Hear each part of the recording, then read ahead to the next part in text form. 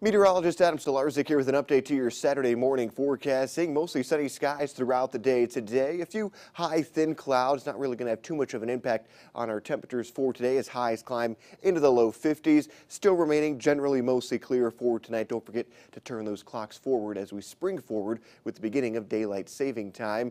Throughout the day on Sunday, high temperatures again going to be into the low 50s, but clouds will be increasing, especially during the afternoon and evening hours, becoming mostly cloudy overnight into our Monday. Ahead of our next round of precipitation, including rain, freezing rain, and sleet potentially for the Monday evening commute. So far, the Monday morning commute looks to be good to go. The afternoon and evening is when you're going to need to be paying attention to area roadways and those weather conditions more attentively throughout the day on Monday.